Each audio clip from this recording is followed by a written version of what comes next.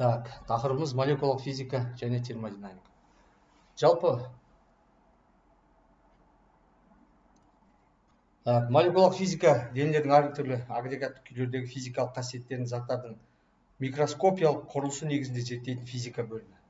Заттардың қасиеттері молекулалық кинетикалық теория тұрғысынан статистикалық әдіс арқылы зерттеледі.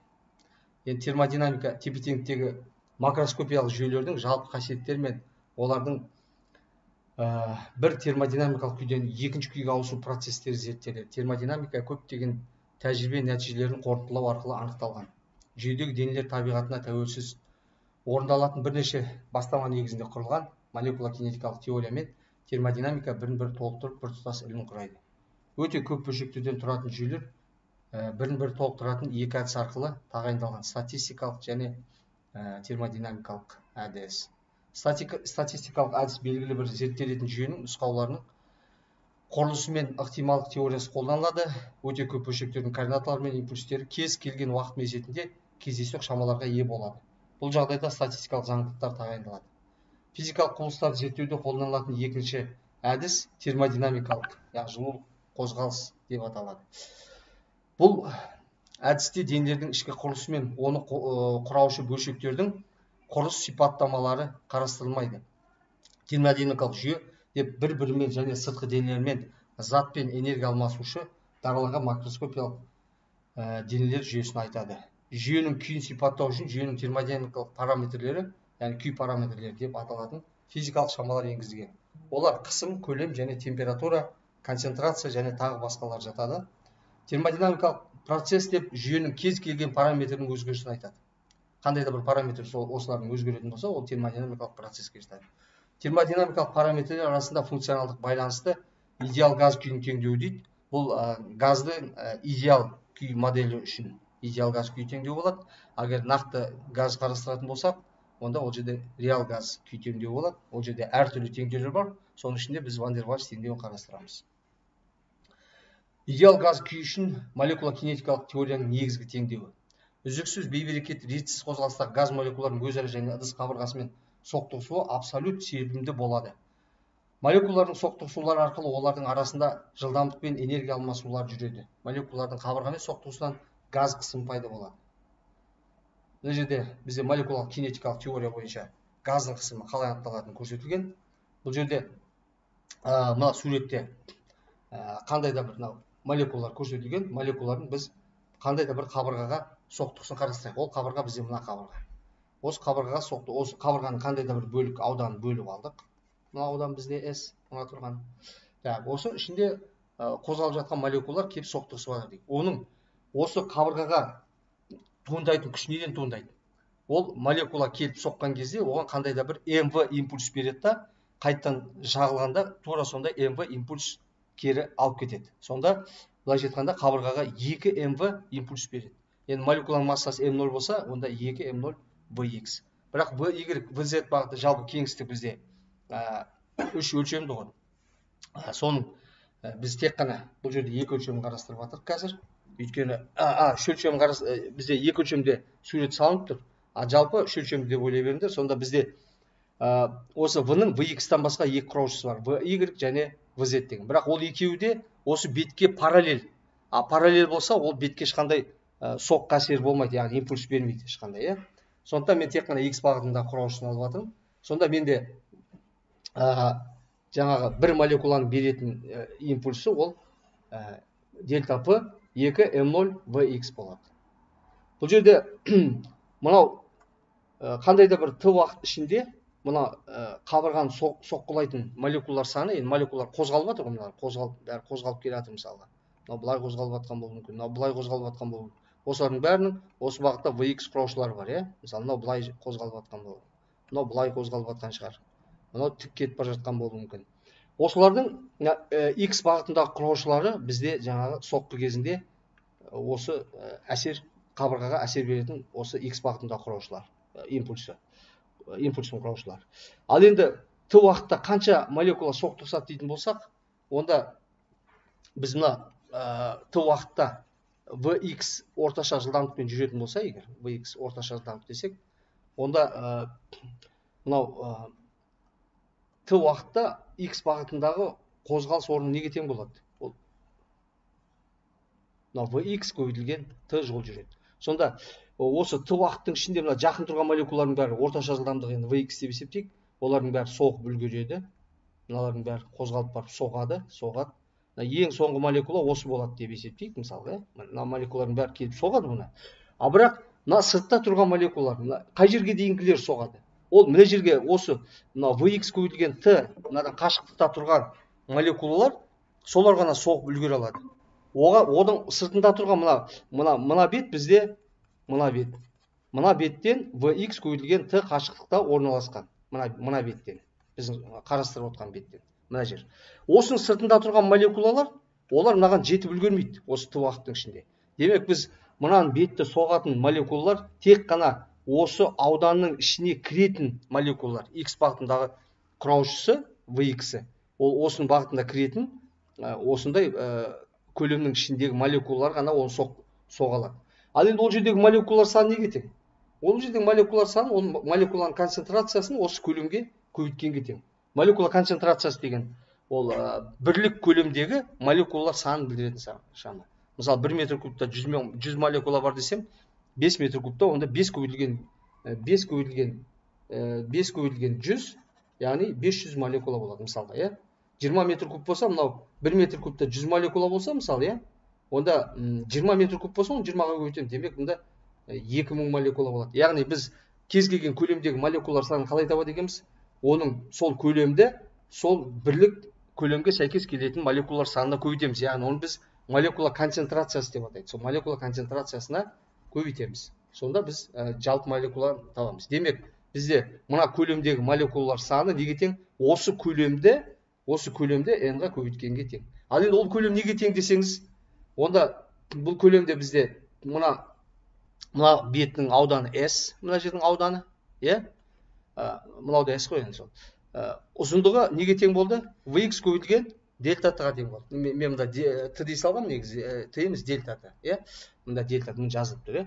Сонда s көбейтілген vx дельта т мына таман ауданын биіктігіне көбейтетін болсақ онда мына көлемді тауып аламыз. Мына көлемді тауып аламыз қазір мына жерде мен цилиндр сияқты болып тұр иә? Кез келген көлем қылып ала беруге болады негізі s төрт бұрышты қылсам да қалай қалай қылсам да. Сонда осы көлем бізде неге тең болып тұр? Ол ол көлем бізде s ті табан ауданын оның биіктігіне көбейткенге тең.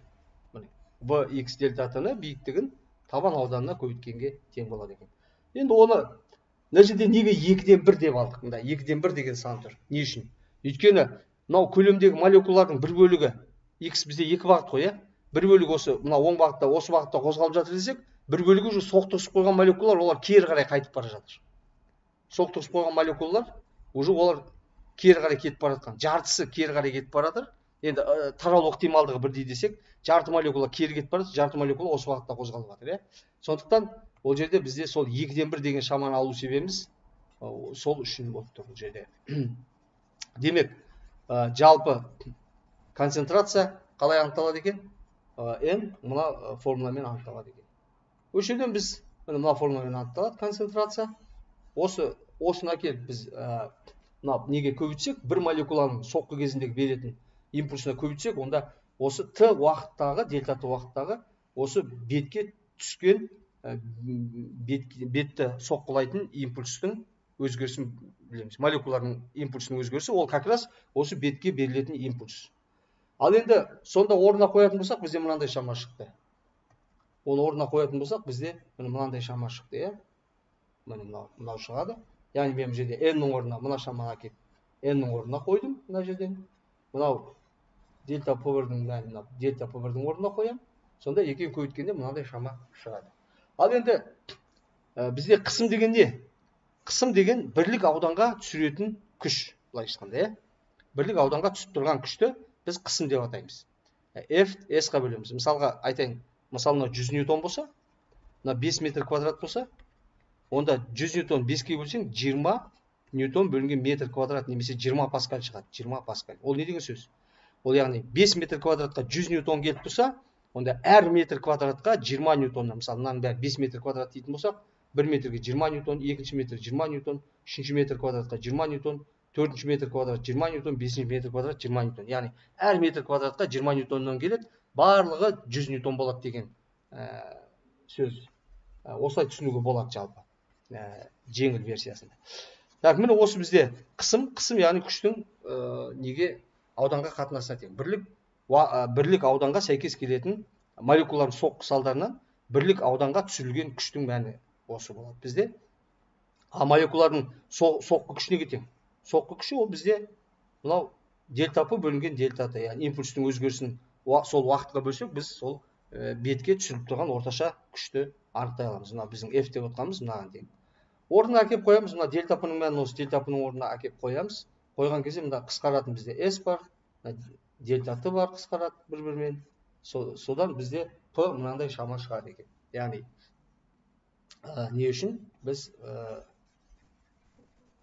қысым үшін қабырғаға түсіп тұрған. Біз осындай ә, формулаға сәй, формула болады бізде. Енді осы жерден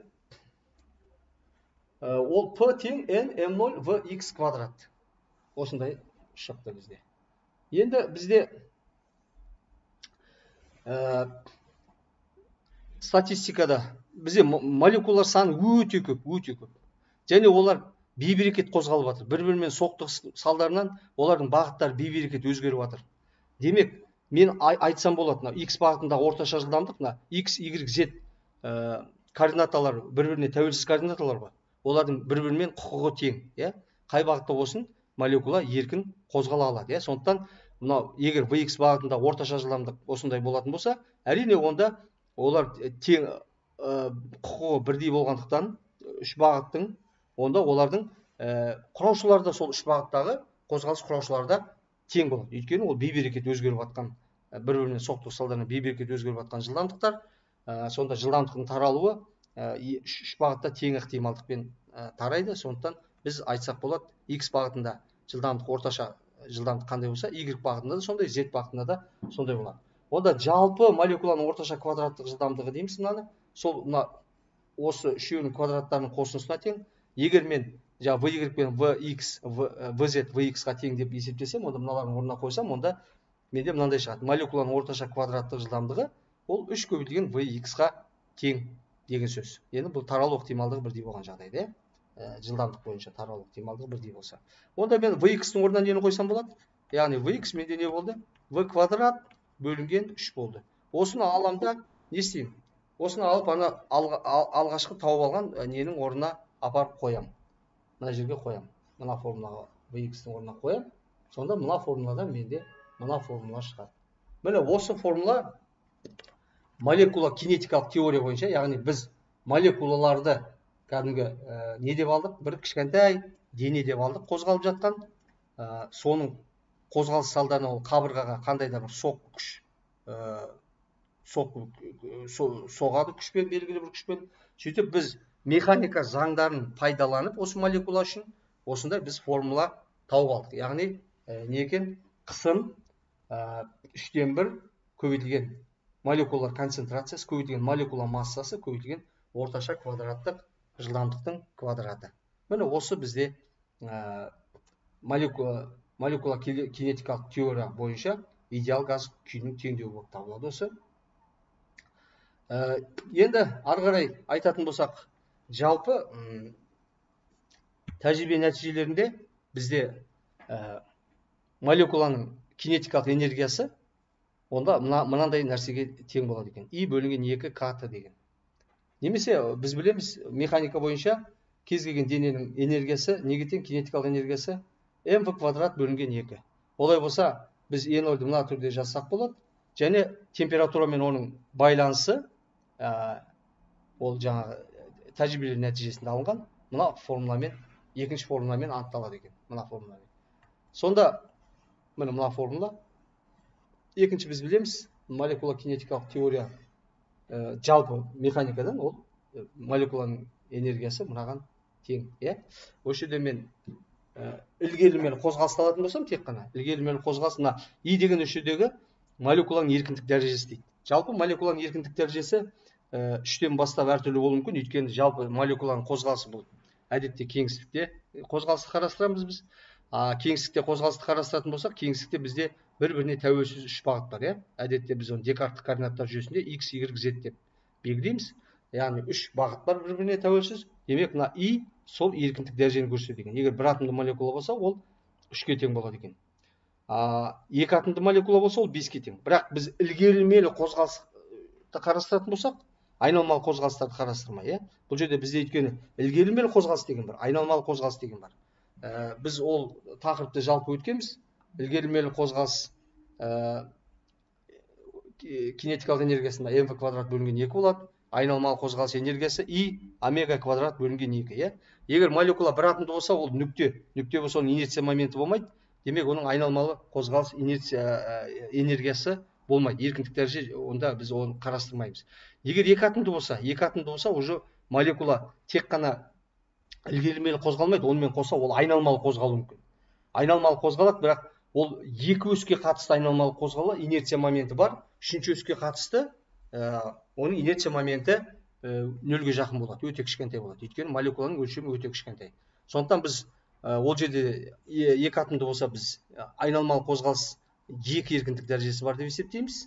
Өйткені бұл жерде соқтығыс кезінде ә, молекулалардың энергиясы мысалы ілгерілмелі қозғалыс энергиясы айналмалы қозғалыс энергиясына өтіп кетуі мүмкін. Ә, айналмалы қозғалыс энергиясы ілгерілмелі қозғалыс энергиясына өтуі мүмкін. Сондықтан біз бұл жерде Ә, барлық ә, сол еркіндік дәрежені қарастырып отыруымыз керек.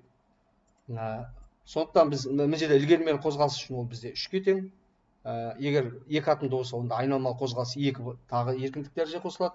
Егер үш атомды молекула немесе одан көп атомды болса онда және ол бір сызықтың бойында орналаспаған болса атомдар онда бізде ол үшінші айналмалы еркіндік дәреже кіреді демек ол кезде еркіндік дәреже алты болады.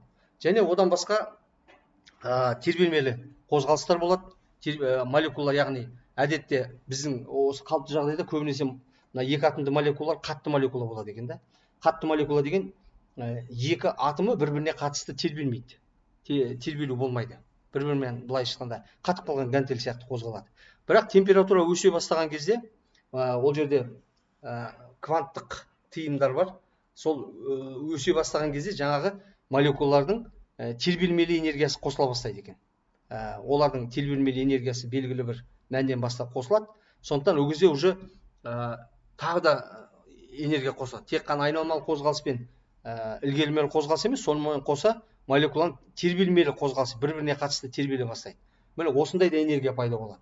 Сондықтан ол кезде еркіндік дәреже өсе бастайды. Ол бірақ жоғарғы температураларда. Мың градустан жоғары деген сияқты мың бес жүз градустан жоғары.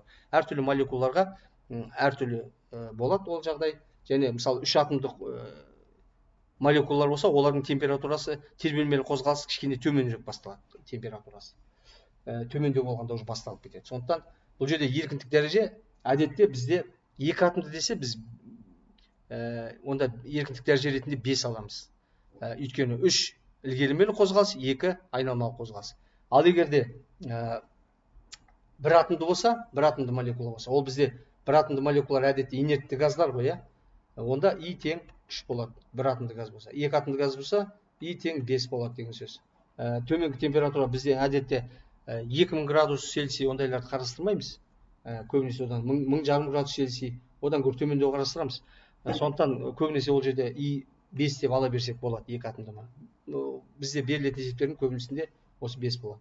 Ал енді сол жаңағы мың жарым градустан мың жарым градус цельсийдан жоғары қарай көтеріле бастаған кезде сол кезде ғана мына жерде келесі кейбір молекулаларда ол уже тербелмелі қозғалыс қосыла бастайды еркіндік дәреже барлығында емес. Сөйтіп қандай да бір температураға жеткенде былайша айтқан кезде почти барлық молекулаларда ә, тербелмелі қозғалыс еркіндік дәрежесі қосылады. Бірақ ә, біз біздің есептерде біз осы екеуін былай қарастырамыз. Бір, бір атомды және екі атомды молекулалар үшін. Енді бізде ілгерілмелі қозғалысты қарастыратын болсақ тек қана ілгерілмелі қозғалыс деген айналмалы қозғалыс жоқ. Тек қана ілгерілмелі онда ол неге тең ілгерілмелі қозғалыс болса? Онда бізде үш ақ еркіндік дәреже бар. Vx vy vz онда бізде еркіндік дәреже неге тең? Үшке тең. Онда мен е ноль онда не болады? Мынау идің орнына үшті қоямын мына жерге. Сонда үш бөлінген екі каты болады. Екеуін теңестірейін. Мына немен молекуланың кинетикалық энергиясымен. Осы жерде мен орташа квадраттық жылдамдықты табамын. Орташа квадраттық жылдамдық пен температураның арасындағы байланысты тауып алдым. Енді ары қарай п осы жерден мына в квадраттың орнына осы шаманы әкеліп төртінші формуланы қоятын болсам мына жерге в квадраттың орнына иә? Мына шаманы қойсақ м ноль в квадраттың орнына. М ноль в квадрат бізде не болып тұр сонда? М ноль в квадрат бөлінген екі үштен екі каты болса м ноль в квадрат ол үш каты болады. Үш катын әкеліп мына жерге м ноль в квадраттың орнына қойсам үш пен үш қысқарады да менде мында n каты деген формула шығады мынандай формула шығады бесінші формула так міне осы бізде молекула кинетикалық теориясының негізгі теңдеулерінің бірі осы болады мкт үшін идеал газ күйінің теңдеуі осы теңдеу бесінші теңдеу мынау бірінші теңдеуді де қарастырады одан кейін мына жетінші теңдеуді қарастыруға болады өйткені мында концентрация неге тең бағана айтып кеттік қой иә ол n молекулалардың санын сол молекулалардың көлеміне көбейткенге тең осы молекулалар орналасқан көлемге көбейткенге тең осы жерде мен орнына қоятын болсам ннің орнына онда пв тең н каты болады а у бізде молекулалардың ішкі энергиясы егер де идеал газ болса идеал газ идеал газ деген қандай газ идеал газ деген молекулалар бір бірімен әрекеттеспейтін газ яғни олардың арасындағы әрекеттесу күшін біз қарастырмаймыз олар молекулалар бір бірінен алшақ орналасқан сондықтан олардың әрекеттесу күші бір бірімен өте аз ә, олай болатын болса мен онда ол молекулалардың өзара әрекеттесу потенциалдық энергиясын қарастырмасам болады демек молекулалардың жалпы жүйенің энергиясы бүткіл молекулалардың молекулалар құрап тұрған жүйенің энергиясы яғни газдың энергиясы мысалы. Онда ол тек қана сол молекулалардың кинетикалық энергиясынан тұрады деп айтсақ болады. Ал потенциалдық энергиясы өте кішкентай оны ескермей ақ қойсақ болады. Олай болатын болса бізде жалпы энергия ішкі энергия жалпы энергия неге тең болады? Жалпы энергия. Ол сол молекулалардың санын ә, молекуланың энергиясына орташа энергиясына көбейткенге тең. Міне осы бізде идеал газ үшін ішкі энергияның формуласы осындай болады. Ал нақты газдарда ол жерде. Бізде қосымша потенциалдық энергия уже күштің әлсіз болса да әрекеттесу күштері ескеруге тура келеді. Ал газ тығыз болатын болса онда ол одан көбейе бастайды одан сайын. Ол кезде біз тек қана мынау ә, тек қана осы ғана болмайды. Мынау бізде қазір кинетикалық энергия бар. Ол кезде біз потенциалдық энергияның әрекеттесуін оны да ескеруімізге тура келеді. Потенциалдық энергияны онда ішкі энергияның мәні тағы қосымша плюс белгілі бір шама болады. Ал енді мына идеал газ болған кезде ол n e ноль e нольдің орнына мен жаңағы нені қоямын и бөлінген екі катыны онда у бізде мынандай шығады. Мынау бізде ә, идеал газ үшін ішкі энергиясының идеал газдың ішкі энергиясының формуласы. Немесе ол жерде нкт деген бізде пв онда былай жазсам болады. У тең и бөлінген екі пв енді яғни көріп тұрсыңдар идеал газдың ішкі энергиясы неге байланысты болады екен? Молекуланың түріне де байланысты болады. И деген бізде молекуланың еркіндік дәрежесі. Яғни екі атомды болса бес болады ә, бір атомды болса үш болады. Демек ішкі энергия ол атомдардың ә, молекуланың ішіндегі атомдар санына да тәуелді болады екен. Енді мына жерде қазір бірінші ә, өрнектер осы неге байланысты? Ә, есептер. Есептерді қарастырайық бірінші есеп мысалы температурасы 20 градус және қысымы 250 килопаскаль болатын көлемі 480 сантиметр куб ыдыстағы газ молекулаларының санын анықтаңыз дейді. Енді біз жаңағы дайын мына формуланы ала салсақ болады. Мына формуланы ала салайық. Бұл жерде өйткені бізде температура берілген қысым берілген көлем берілген. А мына жерде айтуды ұмытып кеттім мына к деген бізде ә, больцман тұрақтысы деп аталады. Больцман тұрақтысы тәжірибе нәтижесінде алынған. Больцман тұрақтысы ол бір бүтін жүзден отыз сегіз көбейтілген оның жиырма минус жиырма үш дәрежесі джоуль бөлінген кельвинге тең. Міне осыны әкеліп қоямыз. Бірақ бұл жерде температураның бізде абсолют температура шкаласын қолданамыз. Яғни кельвин шкаласын ол жерде бізде молекулалар бәрі қатып тоқтап қалған кез десек иә сол кезде температура сол кезге сәйкес келетін температураны ноль деп аламыз. Ә, мүлдем қозғалмайды кинетикалық энергиясы жоқ қатып қалған кезі. Сол кезде ноль деп аламыз. Ә, содан молекула уже температура өскен сайын молекула жайлап қозғала бастайды. Температура неғұрлым қатты өскен сайын молекула қаттырақ қозғала бастайды иә. Міне осы бізде жаңағы ә, абсолют ә, шкала. Ол жерде ә, кельвин шкаласы мен цельсий шкаласының арасында екі жүз жетпіс үш бүтін жүзден он бес деген градус айырмашылық бар. Так осы жерде бізде ну екі жүз жетпіс үш деп ала берейін. Жиырма градус болса оған екі жүз жетпіс қоссам екі жүз тоқсан үш кельвин екен. Біз есепте мына жерде тек қана кельвинмен шығарамыз. Содан енді тауып саламыз. Орнына сандық мәнін қоямыз осы жерде молекула санын таптық. Яғни бізде ә, қараңдар мынау төрт жүз сексен сантиметр куб деген төрт жүз сексен сантиметр куб бұл жарты литрға жетпейді даже иә? Жарты литрға жетпейді. нөл қырық сегіз литр. А жарты литр ну банка мысалға немесе бөтелкені білесіңдер ғой бөтелке иә? бір литрлік ә, бөтелкелерді білесіңдер иә? ішінде бір литр су құйылатын. Ол бір литр. Соның жартысына жетпейтін ә, көлемнің ішінде қанша молекула бар екен? Екі бүтін тоқсан жеті мың почти үш қой енді. Үш көбейтілген онның жиырма екі дәрежесі деген өте көп молекула бар иә? Өте көп молекула бар. Сондықтан біздің ә, жаңағы қоршаған ортамыз мысалы қазір сендер бөлмеде отырсаңдар ол жерде онның жиырма екі емес онның жиырма бес онның жиырма алты дәрежесі молекулалар болады деген сөз мысалы өте молекулалар саны өте үлкен. Және әр молекуланың жылдамдығы да өте үлкен болады. Сондықтан ә, олар жаңағы қабырғаларды соққылаған кезде көп молекула өз массасы жеңіл болғанымен соққылау кезінде сол молекула саны көп болғандықтан және жылдамдығы үлкен болғандықтан жылдамдық орташа жылдамдық жүкпен қалыпты жағдайда бір 500 метр секундта ғой секундына 500 метр жол жүреді деген сөз. Егер екі мысалға үйіңде отырған ә, бөлменің қабырғасы екі арасы 5 метр дейтін болсақ бір секундта әр молекула қабырғаны былайша айтқанда егер мен бір бір бағытта ғана алатын болсам 500 метрмен қозғалатын болса орташа айтқан кезде иә жүз рет соғады. Бір қабырғаны жүз рет а елу рет екінші қабырғаны елу рет соғады иә. Көрдіңдер ма сонда? Әр молекула елу рет соғатын болса ол жерде қанша молекула бар? Өте көп молекула бар. И соның енді үштен бірін аламыз. Өйткені біз бір бағытты қарастырып отырмық қой иә? Ә, үштен бірін алатын болсам жукпен. Онда қабырғаны соққылап жатқан молекула өте көп. Сондықтан қабырғаны кәдімгі итеретін күш туады. Бізде қалыпты жағдайда бізде ауаның атмосфералық қысым ол қанша? Ол бізде онның бес дәрежесі паскальдай жүкпен онның бес дәрежесі паскаль деген ол бір метр квадрат ауданға жүз мың ньютон күш түсіп жатыр деген сөз. А жүз мың ньютон күш деген мысалға жүкпен не алсам болады? бір үлкен ана камаз машина иә мысалға. Камаз дейік үлкен машина иә жүк машинасы. Соның массасы жүкпен он тонна болады. Жүкпен он тоннадай. Сонда ойлаңдар сонда бір квадрат метрге он тонна камаз үстіне қойып қойған сияқты. Мысалы біздің адамның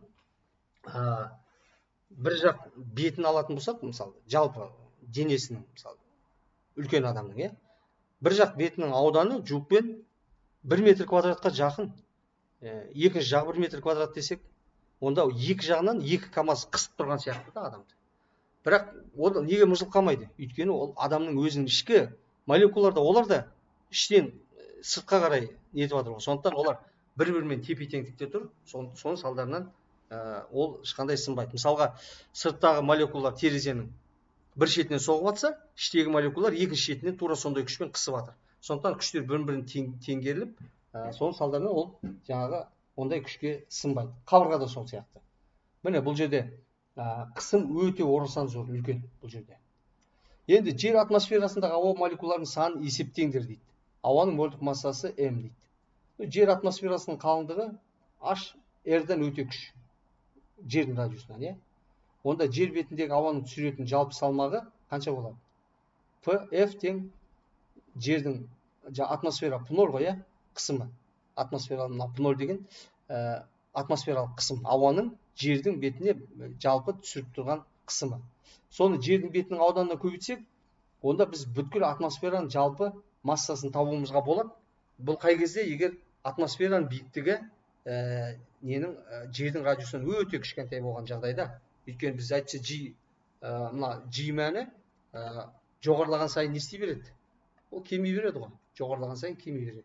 Бірақ бір он километр бес километрге ол қатты өзгере қоймайды. Сондықтан жиді тұрақты деп есептей берсек болады. Ә, осы жерден біз міне қазір нені күшті таптық. Күшті тапсақ жердің бетінің ауданы төрт пи квадрат. Сонда төрт пи квадрат бөлген п ноль тең mg осы жерден біз ауаның жалпы массасын тауып алдық иә примерно қанша екен ал енді ауаның жалпы массасын а, бізде мына ню деген не? Бұл зат мөлшері.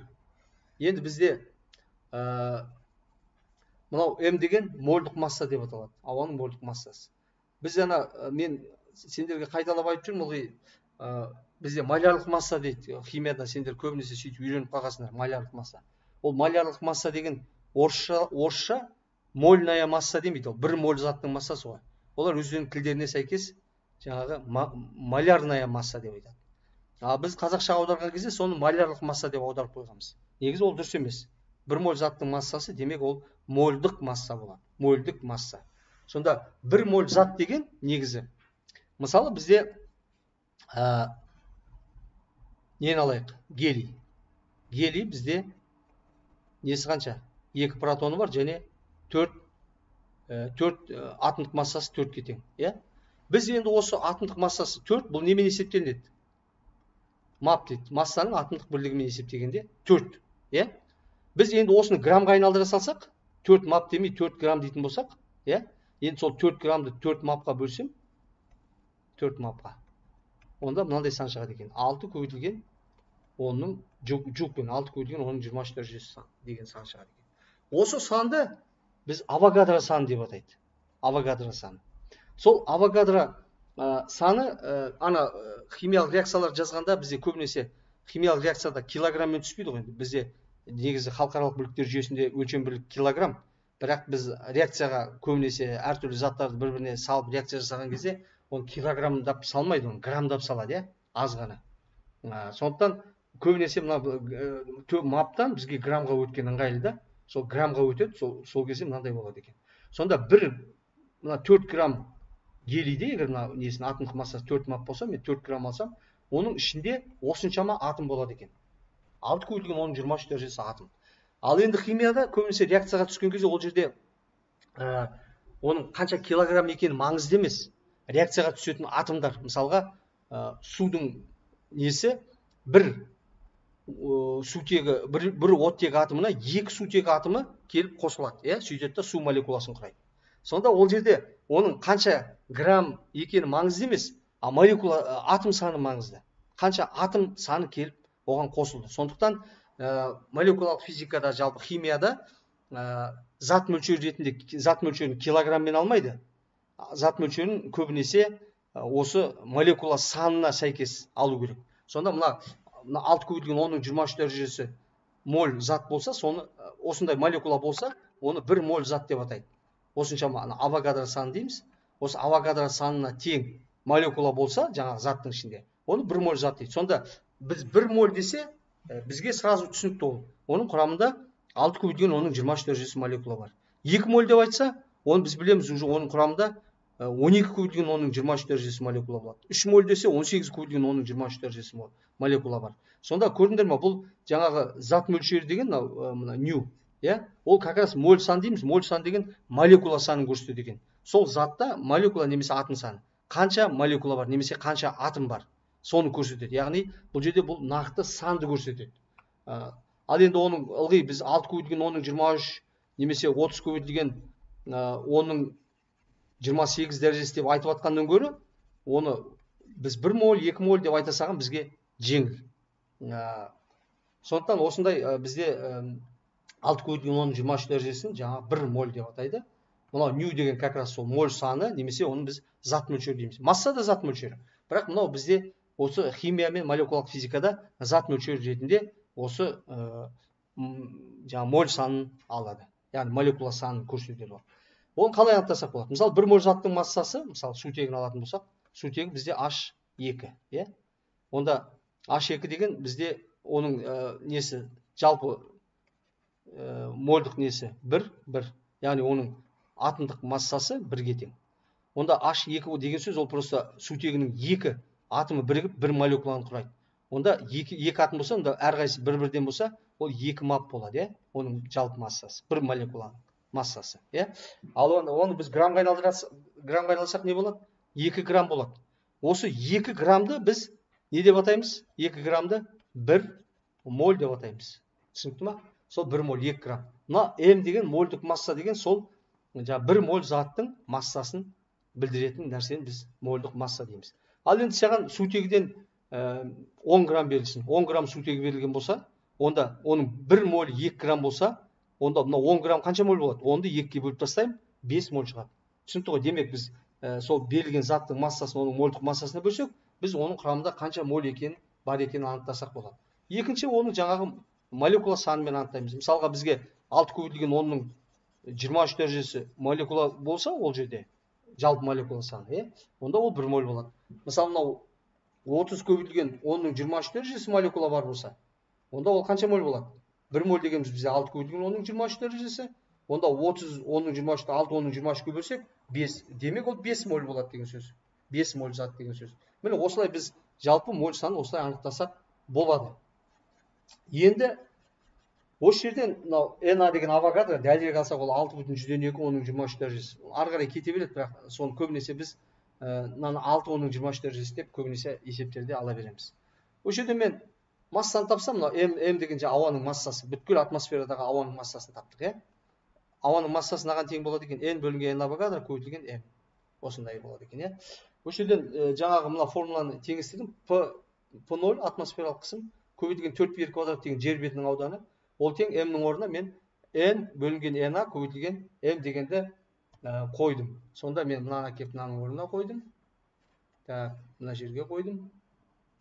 Мына пьер квадратты мен жерге қойдым. Сонда менде мынандай теңдеу шықты. Осы теңдеуден мен нені тауып алдым? Енді тауып алдым. Мына теңдеу шықты менде. Осы теңдеуден ннің формуласын тауып алдым. Осындай шығады есептесек үш бүтін оннан бес көбейтілген онның қырық үш дәрежесі молекула шығады яғни біздің атмосферада жуықпен орташа алғанда осыншама молекула бар мындағы м деген ауаның орташа мольдық массасы ал бізде жуықпен 28 бүтін оннан сегіз жиырма тоғыз деп алсам болады.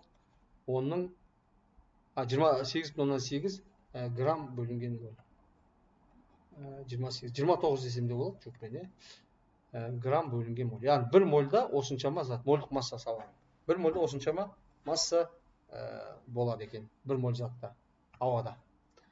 Осыны әкеліп қойдық бәрін содан мынандай шама шықты. Міне біз қазір атмосферада қанша ауа бар екенін анықтадық қалай анықтадық сонда? Біз бірінші атмосфераның жалпы бет, жер бетіне түсіретін массасы mg десек ол как раз неге тең? Сол mg екіншіден сол қысымды соның бетінің ауданына көбейткенге тең. Осы осыны пайдаландық негізінен. Жердің бетінің ауданы төрт пи квадрат r, деген жердің радиусы және мына жерден м-ді біз молекула саны арқылы өрнектеп алдық та и соны қойып сол жерде молекула санын таптық. Келесі есеп. Баллонда температурасы 27 градус көлемі 10 литр газ бар.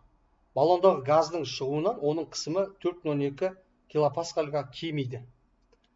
Баллоннан неше газ молекулалары ұшып шықты? Температура тұрақты дейді. Бұл жерде температура тұрақты болса т 27 градус цельсий екен ол өзгермейді екен. Оны кельвинге айналдырсақ ол 300 кельвин болады. Бұл 10 литр 10 литрді метр кубқа айналдырсақ ол нөл бүтін жүзден бір метр куб болады. И төрт екі килопаскаль бұл қысымның өзгерісі. Енді біз бастапқы күй үшін жаңа газ күйін теңдеуін жазайық п бір көбейтілген в тең н бір кт бұл бағанағы формуламызды қолданып жатырмыз мына жердегі. Мына формуланы.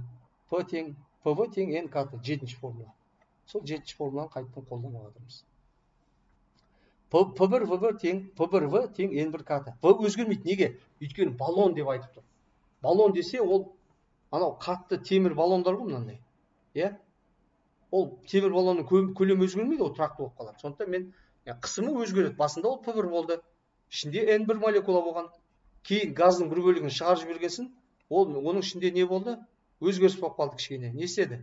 Н бір азайып қалды. Молекула саны н екі болып қалды. Иә онда қысым да азайып қалды. Қысымда басқа бір в өзгерген жоқ менде температура өзгерген жоқ. В мен т өзгерген жоқ иә сонда мен екі күй үшін екі, екі теңдеу жаздым. Мынау бірінші теңдеу мынау бізде екінші теңдеу. Сөйтіп екі теңдеуден н бір н екіні тауып алдым. Н бір н екіні. Сонда бізге қанша молекула шығып кетті дейді да мына дельта н тап. Ол бастапқы молекула саны соңғы молекула санын алып тастағанға тең. Өйткені соңында молекула азайып қалды ғой бізде. Соны орнына әкеліп мына формулаларды қоятын болсақ мына екеуі. Мына мен мына формуланы әкеліп қоямыз. Н бір мен н екінің орнына. Осы жерден біз дельта ннің мәнін таптық енді п бір минус п екі көбейтілген в бөлінген кт деген теңдеу шығады екен. Міне осындай не шықты. Ары қарай не істейміз енді? Ары қарай орнына қоя саламыз. Значит дельта н тең дельта пв бөлінген кт т жаңағы үш жүз кельвин в дегеніміз орнына қоямыз. К біз білеміз. Больцман тұрақтысы. Сонда оның 22 дәрежесі молекула шықты яғни бізде оның 22 дәрежесі молекуланы сыртқа шығарып жіберген екенбіз. Келесі есеп. Шүмекпен жалғанған екі бірдей ыдыстағы сутек молекулаларының саны өзара тең. Екі жағында тең дейді. Бірінші ыдыстағы молекулалардың орташа квадраттық жылдамдығы 400 метр секунд ал екіншісінде 600 метр секунд. Ыдыстарды жалғап тұрған шүмекті ашқанда орташа квадраттық жылдамдық қандай болады? Қоршаған ортамен жылу алмасу жоқ. Енді қоршаған ортамен жылу алмасу жоқ болса ол жерде энергия сақтау заңы орындалады. Өйткені энергия ешқайда кетпейді ғой. Ішінде қанша энергия бар сонша энергия сақталып қала береді иә? Ә, былай істейік басында бізде не болған болсын? Ә, бірінші став молекуланың орташа квадраттық жылдамдығы. Мына біріншісінде бізде 400 метр секунд екіншісінде 600 метр секунд. Ә, бірақ оларда екі жағында ыдыстағы сутек молекулаларының саны бірдей дейді n бірдей дейді көлемдері де бірдей иә? Екі бірдей ыдыс деп тұр. Екі бірдей ыдыс болса значит көлемдері бірдей. Енді біз краникті ашып қойған кезде қандай болады қоршаған ортамен жылу алмасу жоқ ашқанда не істейді бәрі араласып кетеді мынау бір бір ыдыс сияқты болып қалады барлығы. Мынаның бәрі бір ыдыс. Бір ыдыстың ішінде қанша молекуласы болды? Басында бізде біреуінде n екіншісінде n болған енді екеуі бір ақ ыдыс болып қалды. Бір ыдыс болса екеуінде қанша молекула болды? Екі n молекула болды. Және көлемі не болды? Екеуінің көлемі қосылысы екі в болды. Міне сонда біз бастапқы және соңғы нелер үшін? Күй теңдеуін жазсақ болады. Ал бұл жерде энергиямен жазсақ болады. Энергия сақтау заңы бізде. Басында мында қанша молекулардың энергиясы бар мында қанша энергиясы бар. Екеуін қоссақ соңында сонша энергия болады. Өйткені бізге айтып тұр жылу алмасу жоқ деп. Энергия ешқайда кетпейді энергия ешқайдан келмейді. Значит энергия сақталып қалады деген сөз иә? Онда бізде у бір қосылған у екі тең соңғы энергияға тең. У біріміз бізде неге тең? N молекула болса бір молекуланың энергиясы м0 в квадрат бөлінген екі n молекула болса n көбейтілген осындай у екі тура сол сияқты мына бір молекуланың екінші ыдыста м0 в квадрат бөлінген екі бір молекуланың энергиясы бізде n молекула болғандықтан оны n ға көбейтсек жалпы энергия шығады ал екеуін қосып жібергенде барлығы қанша молекула болды екі n молекула болды және әр молекуланың орташа квадраттық жылдамдығы в болды да демек энергиясы осындай болды енді осыны әкеліп мына формулаға әкеліп қоя саламыз мына формулаға сол кезде бізде мынандай теңдеу шықты осы жерден қысқаратындарды қысқартамыз. N қысқарады м ноль екілер қысқарады. Содан бізде в ның мәні мынандай шығады турасында в бір квадрат қосылған в екі квадрат бөлінген екі деген шығады екен. Сонда жүкпен 510 деген шама шықты бізде. Так міне осындай есеп бұл жерде. Бұл жерде біз нені пайдаландық? Энергияны сақтау заңын пайдаландық. Өйткені сыртқа қарай сыртқа энергия кетпейді сырттан энергия ешқандай келмейді. Келесі есеп.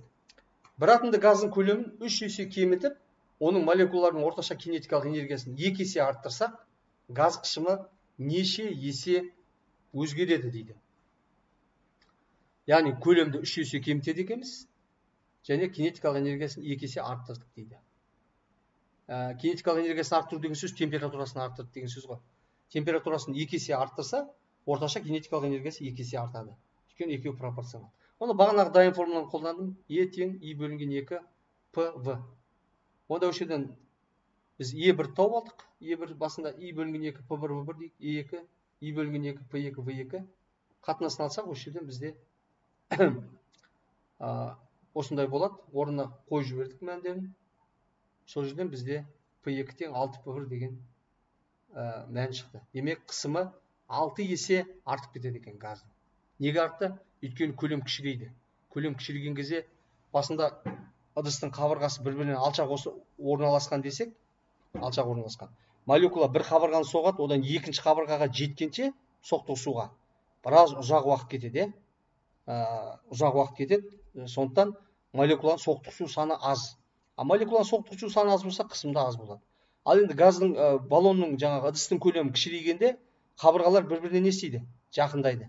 Қабырғалар жақындаса онда молекула біреуіне соқтығысып екіншісіне соқтығысқанша аз уақыт кетеді тез тез соқтығыса бастайды.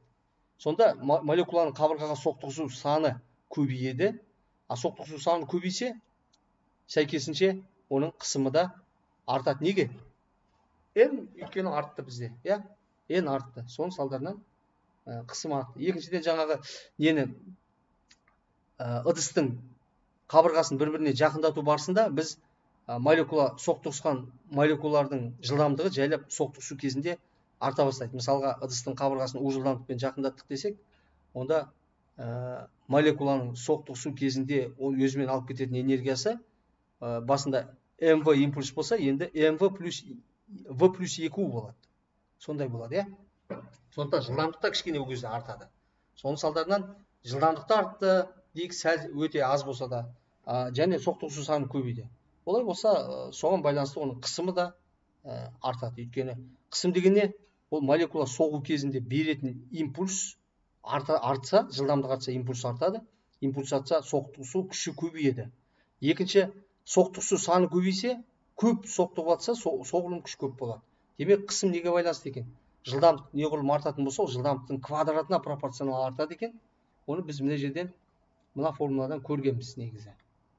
Ә, мына жерде көрдіңдер ма п тең үштен бір н м ноль в квадрат.